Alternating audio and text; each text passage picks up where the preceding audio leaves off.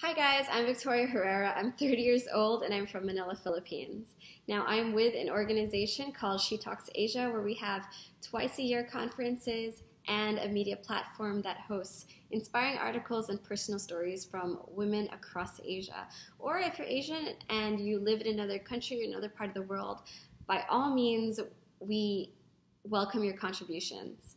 Now, we started our organization in late 2016, 2017 with the intention to provide more authentic and inspiring and honest conversations in the media landscape, in the event landscape. What we wanted to do was bring together, you know, inspiring speakers and a supportive tribe and just foster a more positive and uplifting environment what we wanted to do is start it here, and hopefully we can start it, or we sorry, we can bring it all across Asia as well. What we hope that other women can be inspired by is another woman's story. So, as I said earlier, speakers come together and share what they've been through, share what they learned, what was important to them. We have a tribe that holds space and listens with focus, with intent, with compassion. We have women supporting other women and not looking each other as a source of competition or jealousy. What we really want is every woman to find their own source of personal healing by being involved with the organization.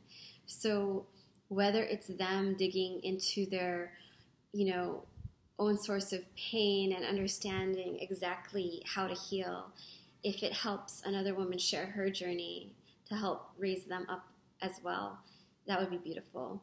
Ultimately, we want to see more kindness, compassion, and love as the new normal in our day and age, which is so hard to find sometimes. So, my message for all the other women out there who have an inspiring idea, who have a message they believe in, a project that they are passionately um, building, is that courage comes with action, that what you're afraid of or what you feel holds you back, you know, those things will will be what's the word? Sorry, let me gather my thoughts with this question. I guess what I really want to say is that nothing will really be perfect before you start. Don't wait for all the cards to be to be arranged perfectly. You have to take action. Even if you're scared, you have to take one step forward. So, everything you're afraid of, everything you're unsure of, things will fall together and things will come into place and things will be clearer as long as you keep taking action. Don't wait around hoping for, you know, the most perfect path to show up. Create the path.